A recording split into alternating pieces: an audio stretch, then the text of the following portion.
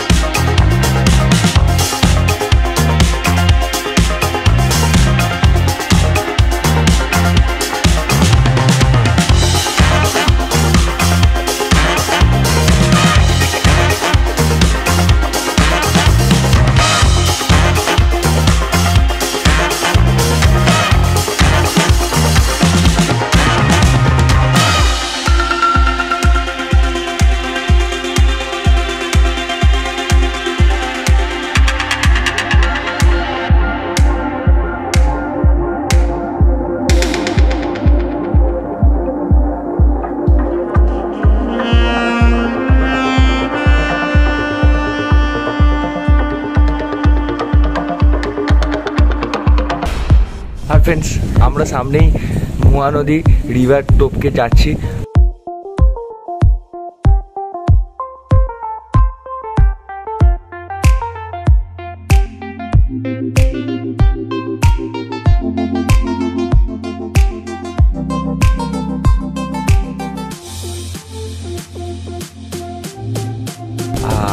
ওয়েদারটা জাস্ট মায়াবী হয়ে আছে, মায়াবী। কারণ পাহাড়টা উঠে আছে সাইডে রেলওয়ে ট্র্যাক আলাদাই লাগছে দেখতে।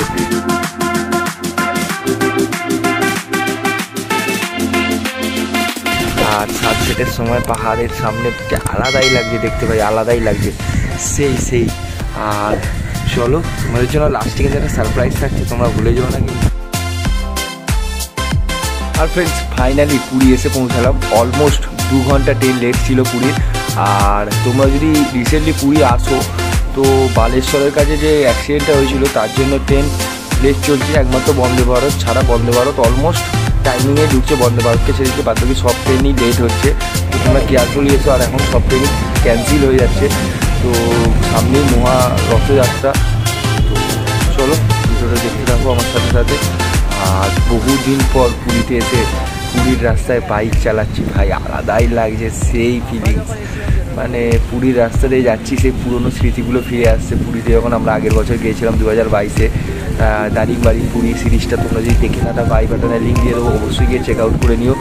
দারুণ দারুণ আমরা এক্সপিরিয়েন্স করেছিলাম এই জায়গাটায় এসে।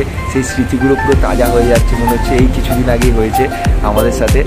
আর তোমাদের সাথে যে সারপ্রাইজটার কথা বলছিলাম আর ফ্রেন্ডস চলে এসেছি সেই সারপ্রাইজিং মুমেন্টে তোমরা যার জন্য অপেক্ষা করছিলে, এই ভিডিওটা পুরোটা দেখছিলে। এই জিনিসটা দেখে তোমরা কিছু চিনতে পারছ। জীবনে প্রথমবার পুরীতে এসে প্রথম মানে বহুবার এসেছি বাট প্রথমবার এই সৌভাগ্যটা আমার হয়েছে যে জগন্নাথ দেবের জগন্নাথ দেবের আশীর্বাদের মাধ্যমে আমি এই রথ তৈরি হওয়াটা দেখতে পাচ্ছি। আর এখন ঘড়িতে সময় হয়ে গেছে অলমোস্ট রাত্রি তিনটে।